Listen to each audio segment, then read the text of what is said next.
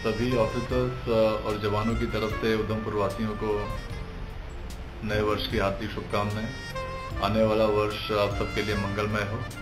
और हम ये आपसे निवेदन करते हैं कि आने वाले वर्ष में आप प्रण उठाएँ कि ट्रैफ़िक नियमों का उल्लंघन नहीं करेंगे।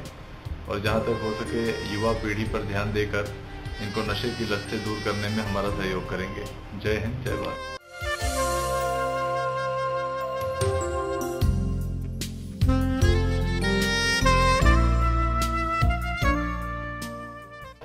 नाम Ankit sanction, city president youth, J J K NPP Udhampur.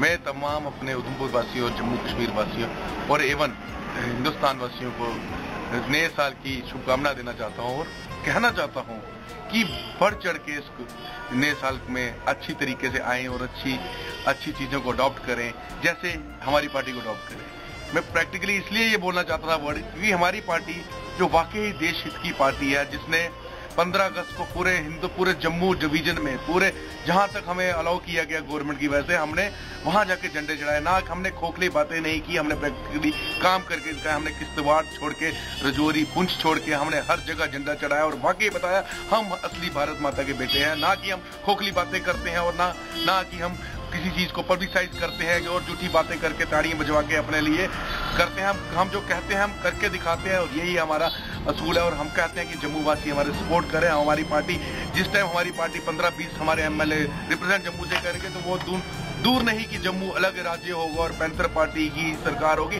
और हमेशा जम्मू की सुनवाई होगी अस्सी परसेंट फंड जम्मू में लगेगा। शुक्रिया, जय हिंद।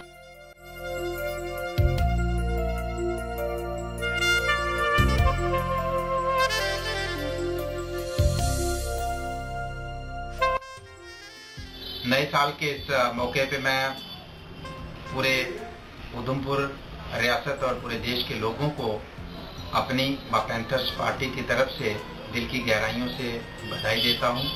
और मैं दुआ करता हूँ ऊपर वाले से कि जो नया साल सब के घरों में खुशियाँ लाए, सब, सबकी मनोकामना पूरी करे।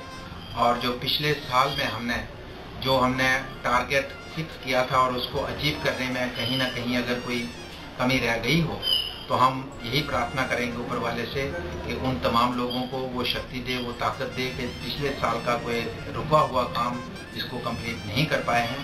तो इस साल कंप्लीट करें।